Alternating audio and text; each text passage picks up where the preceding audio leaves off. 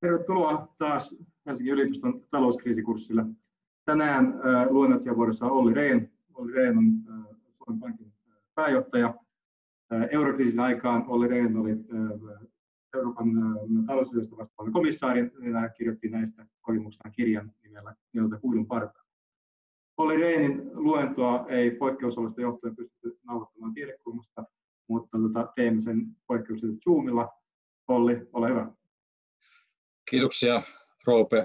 Hyvää päivää kaikille kuulijoille, katsojille sinne yhteyksien toiseen päähän ja kiitos kutsusta pitää tämä virtuaaliluento kriisien opetuksista. Koronakriisi on luonnollisesti kaikkien meidän mielissämme näinä päivinä. Me elämme poikkeuksellista kriisiaikaa, jossa on talouden näkökulmasta sekä uutta että vanhaa, vieraita, mutta myös tuttujakin piirteitä. Aion tänään ensin puhua hieman menneestä talouskriiseistä, ennen kaikkea eurokriisistä ja sitten nyt päällä olevasta koronatilanteesta. Lopuksi vertaan vielä eurokriisin ja koronakriisin seurauksena tehtyjä kriisitoimenpiteitä. Pohdin millä tavalla nykyinen kriisi poikkeaa edellisestä ja miten voimme toimia paremmin tällä kertaa eurokriisin opetusten nojalla. Ja nyt laitan kalvot rullaamaan ja ne lähtevät liikkeelle täältä ja vielä klikataan tuota viinilasia, niin näkyy kaikille. Lähden liikkeelle eurokriisin historiasta ja ja aktiviteetti BKT mitattuna ja toi sininen käyrä ja punainen kasvuluku. Ja tämä kiteyttää eurokriisin aikajanan ja, ja historian niin, että kriisin ensimmäinen vaihe oli oikeastaan maailmanlaajuinen siis globaali finanssikriisi, jolloin pudotus vuosina 2008-2009 oli 4,5 prosentin luokkaa euroalueen bruttokansantuotteessa. Kun siitä oltiin juuri ja juuri selviämässä, niin iski euroalueen velkakriisi vuosina 2010-2012, joka taas vei kasvun joksikin aikaa miinukselle, tosin loivemmin kuin finanssikriisissä. Vaikeiden vaiheiden ja vaikeiden päätösten jälkeen tilanne kyettiin vakauttamaan ja kasvu lähti uudelleen liikkeelle, eli euroalue palasi elpymisen ja kasvun uralle kevästä 2013 lähtien. Ja tämä elpyminen ja, ja kasvu on sitten jatkunut vähän eri voimakkuudella aina ihan viime viikkoihin, viime kuukausiin saakka. Nyt elämme sitten uutta vaihetta, joka on kaiketi koronakriisiksi kutsuttava vaihe. On syytä korostaa, että kyse ei ollut vain yhden jäsenmaan kriisistä, vaikka euroalueen, euroalueen velkakriisi laukesikin Kreikan ylivelkaantumisesta, julkisesta velkaantumisesta. Kyllä kyse oli systeemisestä kriisistä, joka heijastui makrotalouden epätasapainoina ja oli tässä mielessä koko euroalueen toimintaan liittyvä kriisi. Eli vaikka jäsenmaat joutuivat, monet jäsenmaat, haavoittuvat jäsenmaat joutuivat ikään kuin maan maalta dominoteorian lailla tämän kriisin kohteeksi tai uhreiksi, niin silti tämä oli järjestelmää koskeva, eurojärjestelmää koskeva kriisi.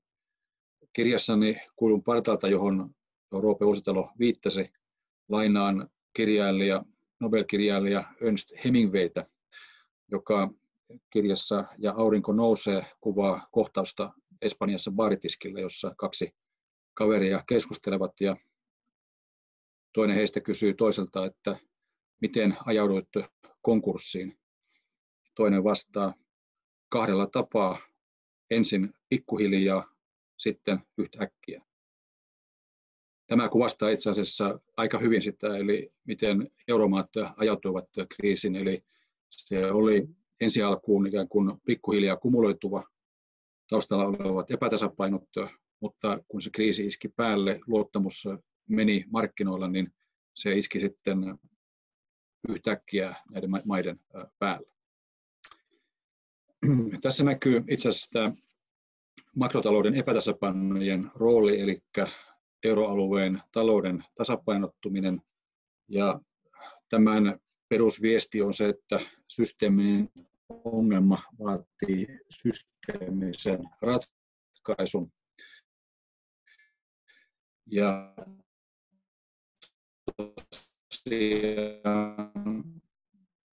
tässä on kuvattuna vaihtotaseella, siis koko kansantaloutta, ei pelkästään julkistaloutta, vaan kansantaloutta koskevalla vaihtotaseella kuvattu ylijäämä tai Itävalta, Belgia, Saksa, Suomi ja Hollanti alijäämämaihin, Ranska, Italia ja hän poikkeustapaus, koska Suomi oli pitkään alijäämämaa itse asiassa ja tällä on pitkään aikaisemmin laskettu ylijäämätalouksien joukko.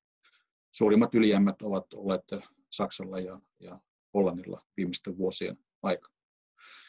Ja tämä liittyy, liittyy kyllä kriisinhallinnan, kriisin ja kriisinhallinnan ytimeen, eli taustalla on myöskin tietyssä mielessä taloustieteen tai ainakin talouspolitiikan harharetki 90-luvulla ja 2000-luvun alkupuolella, jolloin monet vähättelivät vaihtotaseen merkitystä. Minulle muistuu, olen sen verran esikeski-ikäinen, että minulle muistuu mieleen Suomen 1980-luku, 80-luvun loppu, jolloin lainatakseni tunnettuiden taloushistorioitsijoiden kirjan nimeä, Carmen Reinhardtin ja, ja Ken Rogoffin kirjan nimeä This Time is Different, joka on ironinen nimi, joka kuvaa kuplien, talouskuplien, luottobuumien ja talouskuplien historiaa. Ja aina on ajateltu, että tällä kertaa kaikki on toisin. No ei ole ollut kummassakaan tapauksessa, ei ollut euroalueella eikä ollut Suomen tapauksessa. Alijäämäinen vaihtotase kriisin iskiessä kostautuu hyvin voimakkaasti ja, ja tämä oli taustalla pitkälti esimerkiksi Espanjan ja Irlannin, samoin kuin Portugalin kriisien kohdalla. Tähän liittyen, tähän liittyy sitten se, että millä tavalla tämä sopeutuminen tapahtui, eli millä tavalla ylijäämätaloudet ja alijäämätaloudet sopeuttavat omaa talouden kehitystään. Tästä taloustieteilijä John Maynard Keynes lienee lausunut aika universaalin totuuden, kun hän sanoi, jolloin IMF perustettiin, hän totesi, että taloudellinen sopeuttaminen on ylijäämämaille vapaaehtoista, mutta alijäämämaille pakollista. Kannattaa muistaa, että Keynes oli itse alijäämämaa, eli Britannian edustaja. USA-neuvottelija oli, oli neuvostoagentti Harry Dexter White. Yhtä kaikki tämä kertoo siitä, että tämä kuva kertoo siitä, että euroalueellakin alijäämämaat sopeutuivat, ylijäämämaat eivät juuri niinkään.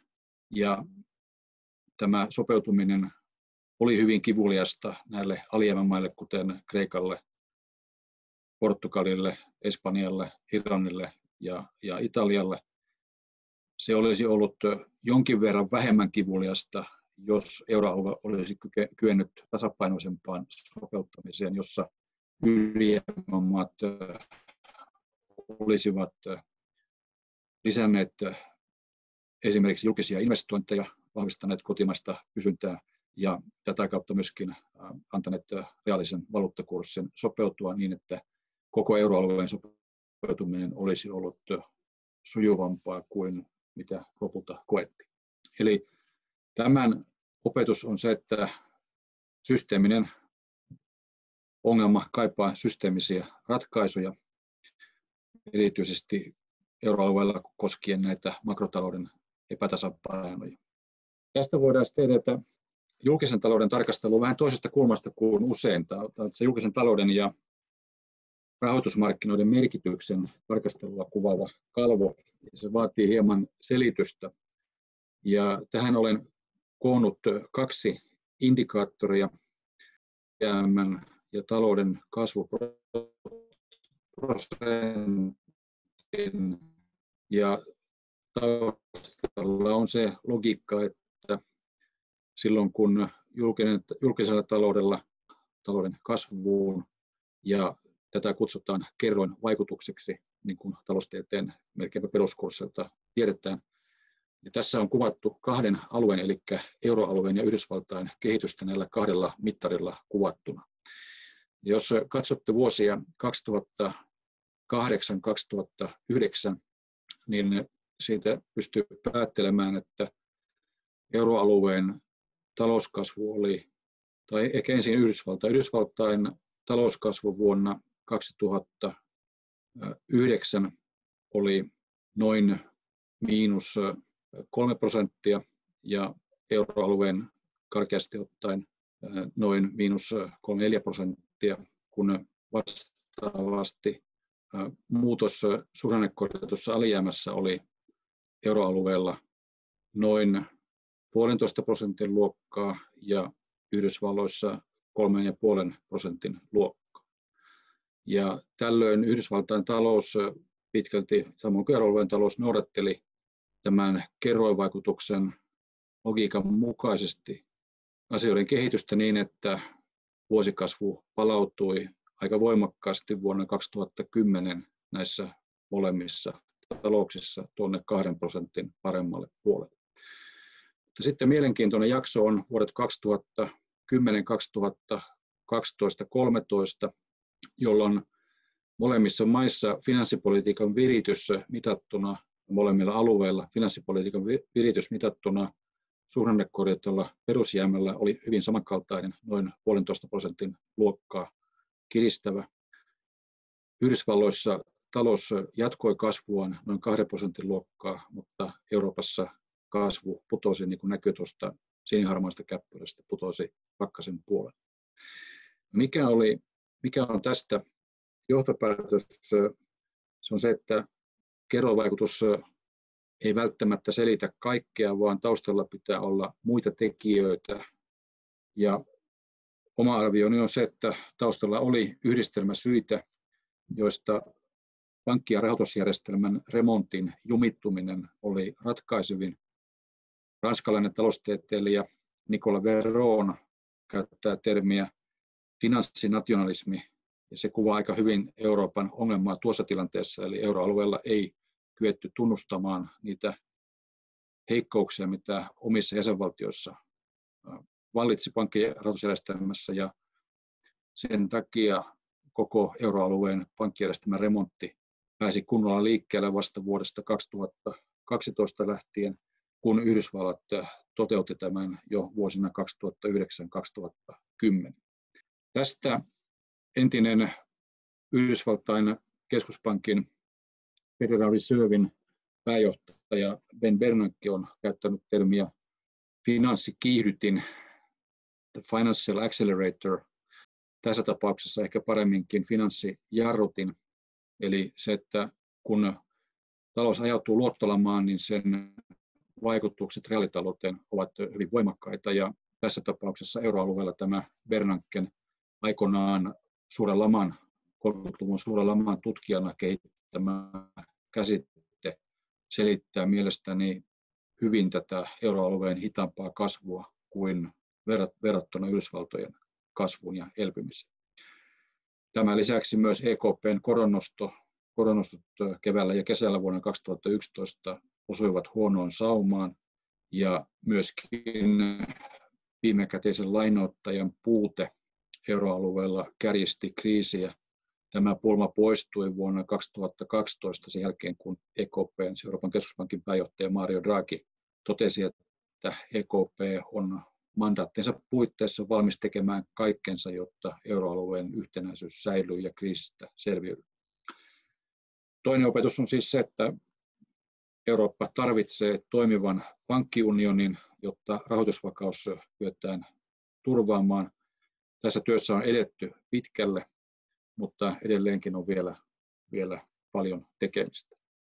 Sitten vielä kolmas opetus, joka liittyy päätöksentekoon, kutsutaan sitä vaikka institutionaaliseksi näkökulmaksi tai poliittisen taloustieteen näkökulmaksi. Tässä on kiteytettynä euroalueen päätöksenteko eurokriisin aikana vuosina 2010-2014. Piirros on minun yhteen serviettiin joskus joulukuussa 2010 piirtämäni kuvio, jonka sitten siirsin kalvolle tässä muodossa. Ekonomisthan pitävät mahdottomista kolmioista, kuten Mandel Flemingin dilemma tai Financial Trilemma. Tässä on tosiaan euroalueen päätöksenteon mahdoton kolmio. Sitä ei kannata ottaa kirjaimellisesti, mutta silti vakavasti. Ja tätä tarkoittaa sitä, että kaikki ne, joilla oli pelimerkkejä, joilla oli resursseja, rahoitusresursseja, niillä oli omat periaatteensa ja pelisääntönsä ja niitä oli vaikea sovittaa yhteen. Näitä olivat Euroopan keskuspankki Frankfurtissa, Saksan liittohallitus Berliinissä ja kansainvälinen valuuttarahasto IMF Washingtonissa.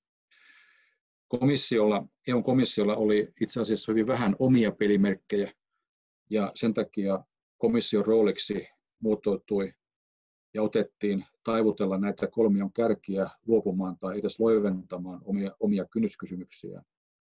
Ja tätä kautta komissio toimi aktiivisena silarakentajana kriisin aikana.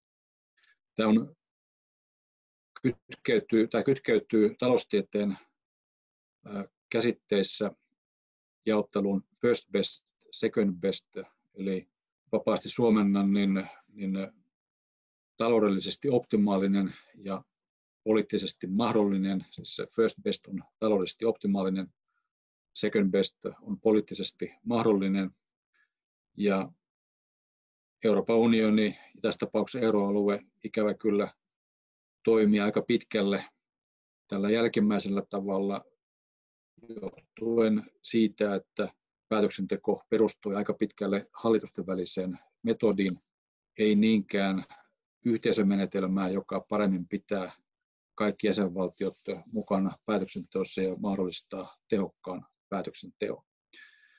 Tämä onkin kolmas opetus eurokriisistä, eli kun toimitaan pienimmän yhteisen nimittäjän varassa, niin kuin tässä kuviossa jouduttiin toimimaan, tulee liian monta vetopistettä, voit käyttää veto-oikeutta, ja johtaa hyvin tiukkaan yksimielisyyden vaatimukseen.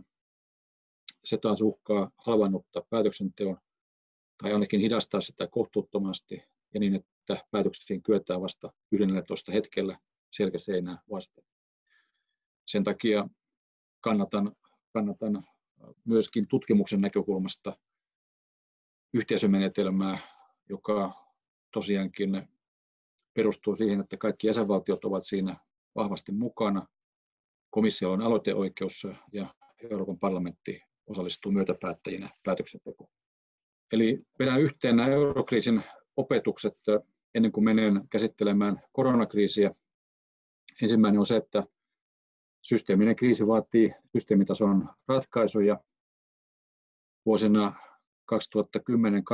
2010-2012 tähän tähdättiin niin kokonaisvaltaisella kriisiohjelmalla. Ja ihan ratkaiseva tekijä oli se, että Euroopan keskuspankki muutti toimintatapaansa vuosina 2010-2015, varsinkin Mario Draghin äsken mainitsemani puheen myötä vuonna 2012. Ja voidaankin sanoa, että Euroopan keskuspankki koki muodonmuutoksen noina vuosina Bundesbankista Federal Reserveiksi, eli amerikkalaistyyppiseksi keskuspankiksi. Toinen opetus oli se, että rahoitusvakaus laiminlyötiin vakavasti Maastrichtin sopimuksessa ja sen takia jouduttiin kriisin aikana rakentamaan iso sinko, joka itse asiassa muodostui yhdistelmästä EKP ja Euroopan vakausmekanismi. Ja kuten mainitsin, pankkiunioni on avainasemassa siinä, että kyetään katkaisemaan pankkien ja valtioiden välinen rahoituksellinen kohtaloyhteys. Kolmas opetus on se, että tarvitaan parempaa finanssi- ja rahapolitiikan yhteispeliä itsenäisyyden puitteissa sekä normaalina että erityisesti kriisiaikoina. Neljäs ja viimeinen, vaan ei vähäisin opetus on se, että talouspolitiikan parempi eurooppalainen koordinaatio ja yhteistyö on tärkeää, mutta kyllä se on lopulta jäsenmaiden vastuulla silti aina pitää oma pesänsä kunnossa. Kukaan muu ei loppupelissä huolehdi oman maan taloudesta ja talouspolitiikasta kuin sen maan hallitus ja muut päättäjät itse. Iskun kestävyys, joustavuus, tuottavuus ovat tässä keskeisiä, etenkin pienen maan näkökulmasta. Olen kirjoittanut näistä eurokriisin kokemuksista kirjan, kuten Roope Uusitalo aluksi totesi, ja tämä kirja ilmestyi suomenkielisenä loppuvuodesta ja nyt alkuperäisessä englanninkielinen alkuperäis ilmestyi joitakin viikkoja sitten. Se kulkee nimellä Walking the High Wire, Rebalancing the European Economy in Crisis. Ja esipuheen on kirjoittanut Englannin pankin juuri tehtävän jättänyt pääjohtaja Mark Kaani. Tämä voi rehellisesti tunnustaa, että pidän enemmän tästä englanninkielisen kirjan kansikuvasta kuin suomenkielisen. Suomenkielinen pärstökuva on kustantajan standardi ratkaisu, siihen en pystynyt vaikuttamaan. Sen sijaan tähän toiseen kyllä, ja tämä on suomalaisen harjavaltalaisen graafikon Tuula Jutin teos Ajopuulla vuodelta 1991, joka kuvaa aika hyvin sen ajan suomalaisen talouselämän ja muiden päättäjien epätietoisuutta, ajelehtimista tilanteessa, jossa 80-luvun väärän talouspolitiikan jälkeen oltiin juuri ajautumassa hyvin syvään talouskriisiin ja, ja lamaan. Aika samoissa tunnelmissa euroalueen päättäjät olivat kriisin iskiessä vuonna 2010. Eli jos jotain kiinnostaa vähän syvemmälle perehtyä näihin kuvaamini kysymyksiin, niin niistä löytyy lisäseikkoja tästä kirjasta, joka on, jos olette kyllästyneet Kurt Wallanderiin tai, tai äh, Stig Larssonin tai Simenonin tai Agatha Christien, niin tämä on talouspoliittinen thrilleri, joka on taruakin kiinnostavampi. Siirrytään koronakriisiin ja talouspolitiikkaan.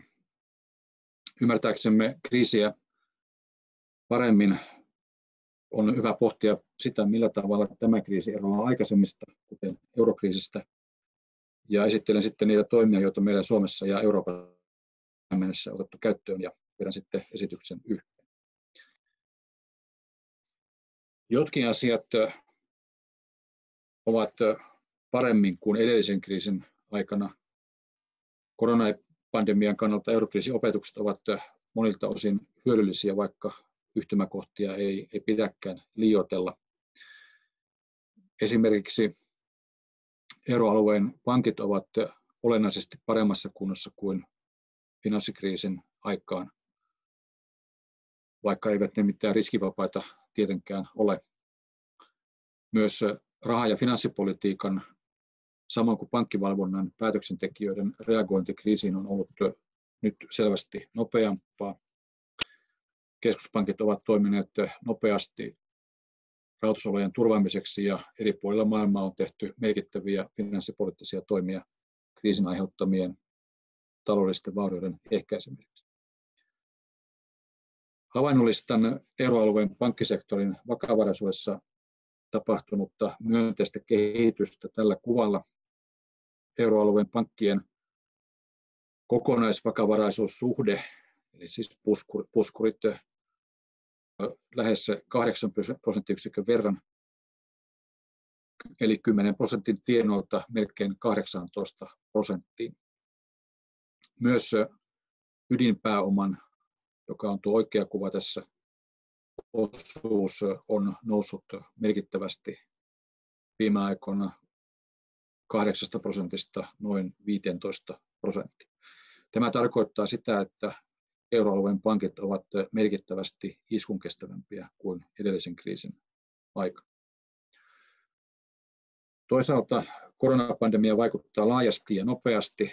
Sen aiheuttamat terveyden kannalta välttämättömät rajoitukset ovat suora isku sekä reaalitalouteen että laajemminkin yhteiskuntiin.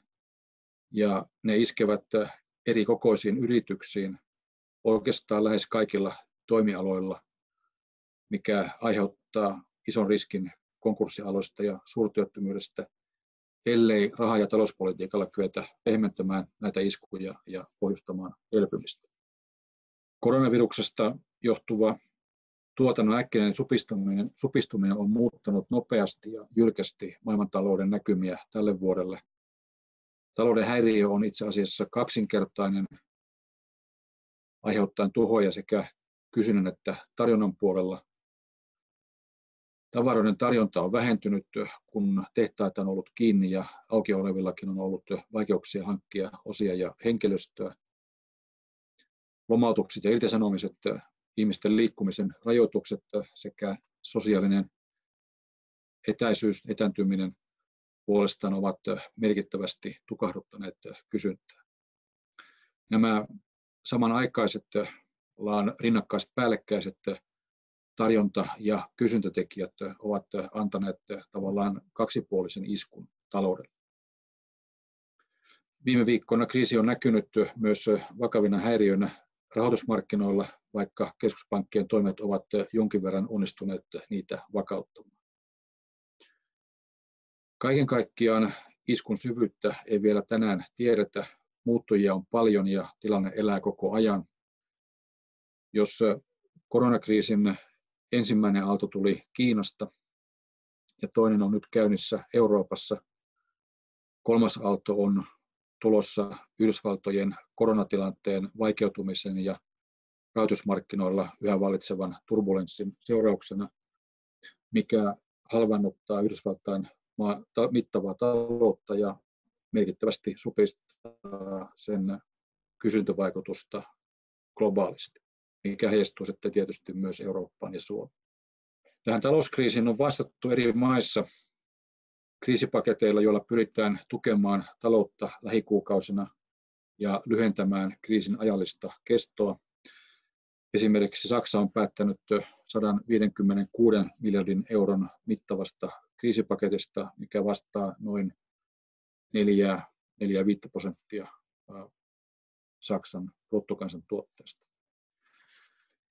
Kiireellisimpinä tavoitteina näillä paketeilla pyritään nyt maailmalla ja meillä turvaamaan yritysten rahoitus sekä pankki- ja rahoitusjärjestelmän likviditeetti, jotta kyetään estämään tarpeettomat konkurssit ja irtisanomiset. Tämäkin on yksi eurokriisin opetuksia.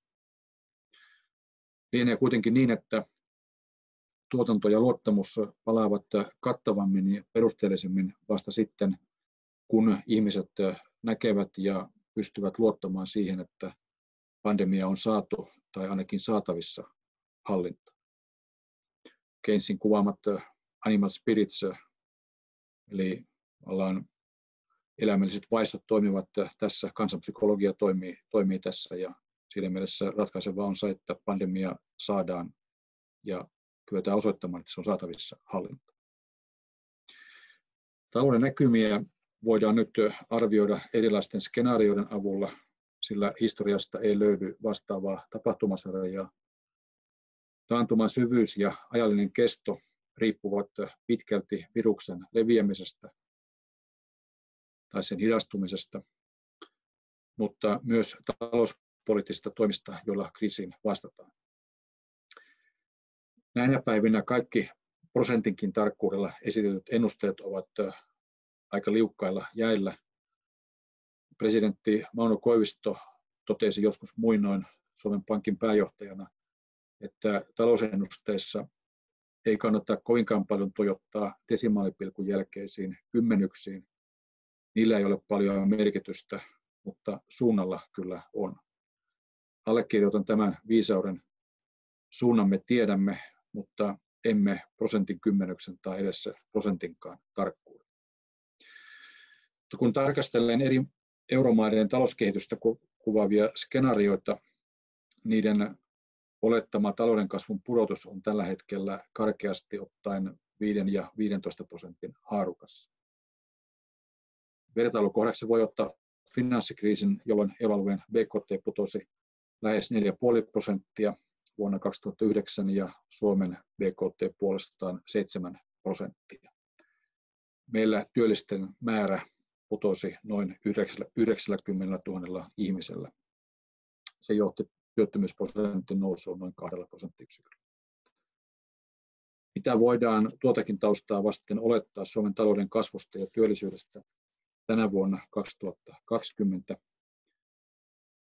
Me Suomen Pankissa valmistelemme parhaillaan kiivaasti päivitettyjä skenaarioita, enkä nojaa nyt niihin, vaan omaan kokemusperäiseen tuntumaani kaiken sen tiedon pohjalta, mitä eri lähteistä on tällä hetkellä saatavissa. Käsitykseni mukaan edessämme on kaksi vaihtoehtoista skenaariota, joko iskultaan vakava ja syvä, mutta melko lyhytkestoiseksi jäävä taantuma, jos onnistumme torjunta- ja elvytystoimissa, tai pitkittyvä syvä taantuma, jos kotimaiset ja eurooppalaiset politiikkatoimet osoittautuvat riittämättömiksi. Ensimmäisen eli vakavan taantuman BKT-pudotus olisi kaiketti päälle 5 prosentin luokkaa. Toisen eli syvän taantuman toteutuessa Suomen BKT putoaisi ja ilmeisimmin kaksinumeroisella luvulla kaikki ne raskaine vaikutuksineen suomalaisten työllisyyteen ja hyvinvointiin. Syvään taantumaan voidaan päätyä, jos myös kotitalouksien kulutus pienenee olennaisesti ja tuotantoketjut katkeilevat kotimaassa. Ihmisten liikkumista ja muuta toimintaa koskevien välttämättömien rajoitusten suorat vaikutukset talouteen ovat kuitenkin onneksi väliaikaisia, mutta pidempiaikaisia vaikutuksia voi seurata, jos moni yritys, pankki tai muu toimija joutuu vaikeuksiin. Konkurssit, työttömyys ja hyvinvoinnin menetykset uhkaavat. Siksi viime päivinä ja lähiviikkoina tehtävillä talouspoliittisilla päätöksillä on valtava merkitys Suomelle mitä on tehty ja mitä tehdään näistä aika tiiviisti. Euroopan keskuspankin neuvosto on päättänyt aloittaa uuden pandemiaan liittyvän arvopaperien osto-ohjelman, kulkee nimellä PEP, The Pandemic Emergency Purchase Program. Sen puitteissa ostetaan joustavasti 750 miljardin euron edestä arvopapereita. Kaikkiaan tämän mittaan eurojärjestelmästä arvopapereita nettona yli tuhannen miljardin euron arvosta. Ja itse asiassa seuraavalla kalvolla on kuvattuna EKPn osto-ohjelmien mittaluokka ja vaikutus taseeseen. Viime vuoden lopulla tämä mittaluokka oli noin 2700 miljardia euroa. Siihen on tulossa 1000 miljardia euroa lisää eli päädytään 3700 miljardin euroon likviditeettipläjäykseen, joka vastaa laskujeni mukaan karkeasti ottaen, jos Suomen BKT on noin 240 miljardia euroa, niin se vastaa noin 15 kertaa Suomen vuosittaista bruttokansantuotetta. EKP-neuvosto on kertonut myös selkeästi olevansa valmis muokkaamaan näihin ostoihin liittyviä omistusrajoituksia ja tarvittaessa laajentamaan ohjelmaa. Me alleviivasimme hyvin selkeästi, että Euroopan keskuspankki tekee toimivaltansa puitteissa kaiken tarvittavan, jotta se tukee kaikkia euroalueen kansalaisia tässä kovin vaikeassa tilanteessa ilman rajoitteita, kuten pääjohtaja Christine Lagarde asian osuvasti ilmaisi. Muutkin keskuspankit maailmalla ovat päätyneet samansuuntaisiin toimenpiteisiin. Näytän kalvo, joka, joka voi ottaa joko huumorilla tai vakavasti tai ehkä jopa molempia. Se on tarkoitettu mole, molempiin, molemmissa mielissä otettavaksi. Eli tässä on kuvattuna Yhdysvaltain keskuspankin Federal Reservein tekemiä päätöksiä uusista tai uudelleen aktivoidusta rahapolitiikasta en mene tietenkään näihin yksityiskohtiin, mutta tämä melkoinen aakkosoppa on Fedin vastaus rahoitusmarkkinoilla nähtyihin häiriöihin aina rahamarkkinoiden likviditeettihuolista pitkin korkoihin. Eli siellä on tehty lähes päivittäin päätöksiä erilaisista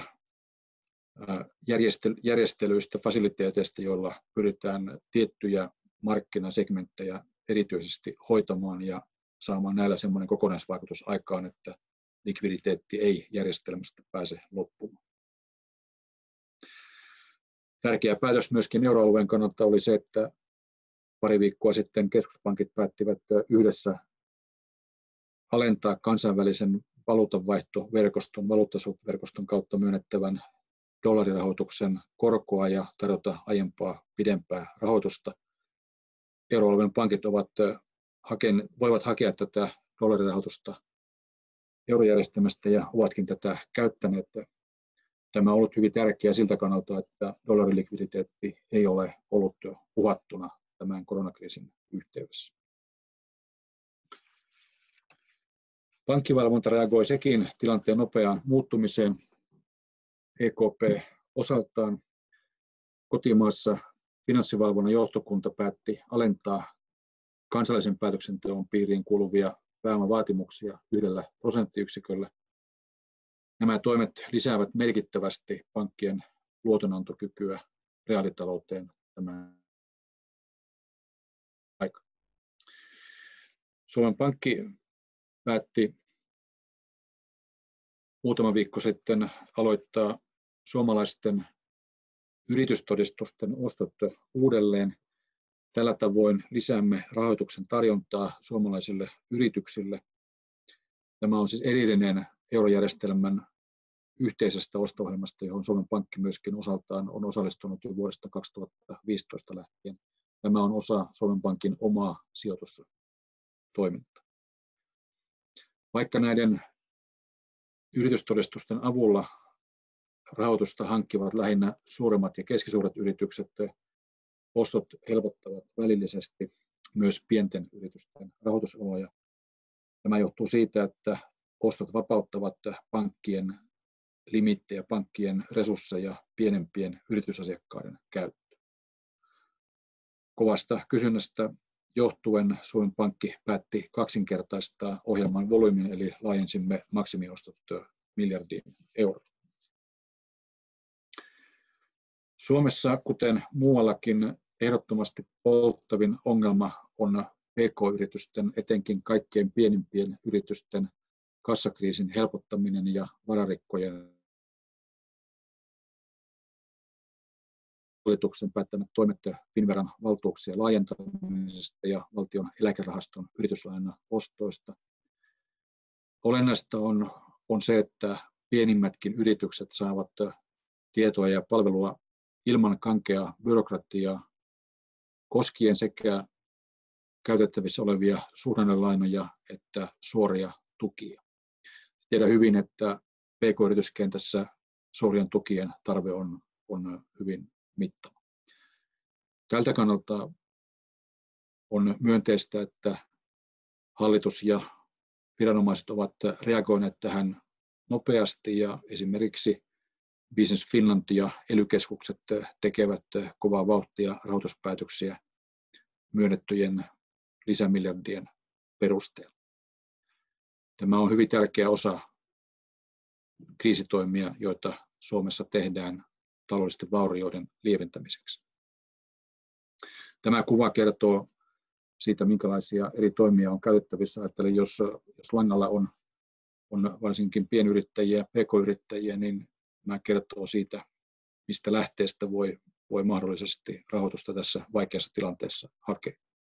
Siirryn yhteenvetoon ja